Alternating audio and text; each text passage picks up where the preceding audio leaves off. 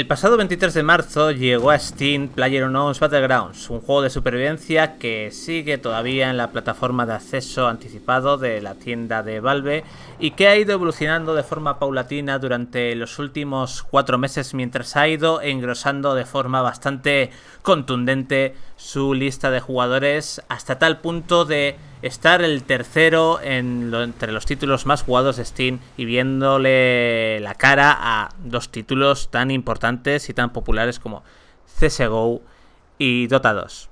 En este vídeo no vamos a contaros lo que es PlayerUnknown's Battlegrounds porque muchos de vosotros ya lo sabéis y de hecho hemos publicado tanto un gameplay como una serie de motivos por los que el juego ha triunfado, pero sí que os vamos a hablar un poco de la evolución que hemos visto en los últimos meses. Bluehole prometió desde un principio que no iba a caer en errores de otros juegos de acceso anticipado y que íbamos a ver cómo PlayerUnknown's Battlegrounds iba a actualizarse y a recibir al menos un gran parche al mes.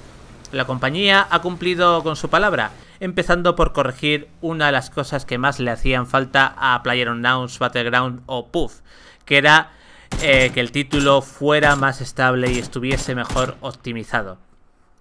Esto lo ha conseguido Bluehole realizando diversas mejoras en los servidores para que eh, se caiga menos, sufra menos lag y la experiencia sea mucho más fluida. A nivel técnico el juego también se ha pulido bastante, sobre todo con los últimos parches en los últimos meses, reduciendo de forma considerable los tan habituales bajones de frames que habíamos durante las primeras semanas o bugs o errores fatales para el juego.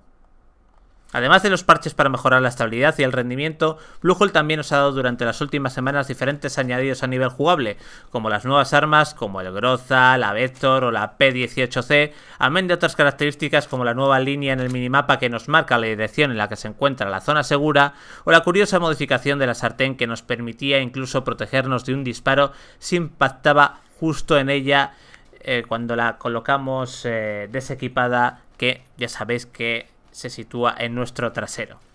Estos añadidos han ido haciendo que el juego vaya evolucionando a la par que la forma de jugar de sus miles de aficionados, que quieren sobrevivir en todas y cada una de sus partidas,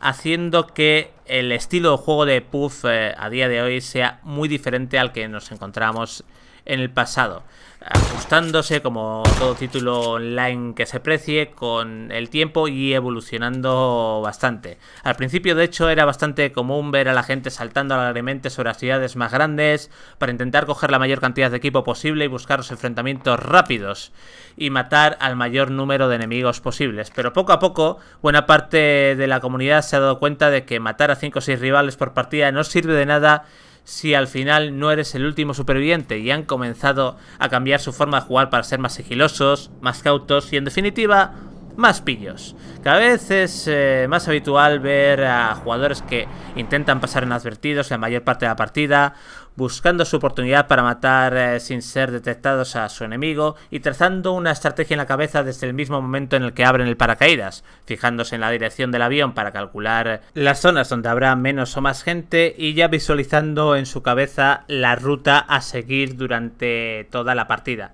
Ha sido, en cierto modo, bonito ver cómo ha ido evolucionando este estilo de juego y cómo sigue haciéndolo, trazando nuevas estratagemas, buscando cada vez más alternativas y utilizando eh, su ingenio para intentar sobrevivir en esta sinuosa isla y llevarse a su casa el pollo para la cena que solo tiene el superviviente de cada partida. Además de esto, PlayerUnknown's Battlegrounds tiene un futuro prometedor. Bluehorn quería en un principio tener el juego acabado para el final de septiembre o principios de octubre, aunque finalmente han decidido darse un poco más de tiempo para lograr tener la mejor versión final posible, retrasando el lanzamiento oficial para el último trimestre de este 2017.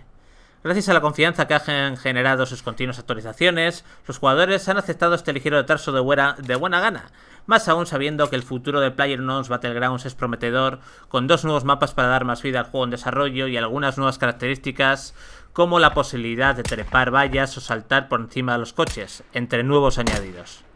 Además, sus creadores sorprendieron a todos en el E3 2017, apareciendo durante la conferencia de Microsoft para anunciar que estará disponible el juego para finales de año tanto en Xbox One como en Xbox One X a través del programa Xbox One Preview, que es similar al acceso anticipado de Steam.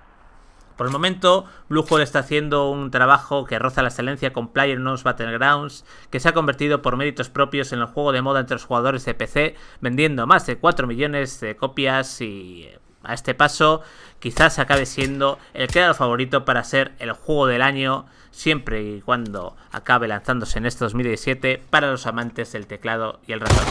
¿A vosotros? ¿Qué os está pareciendo PlayerUnknown's Battlegrounds? ¿Tenéis alguna anécdota con el juego?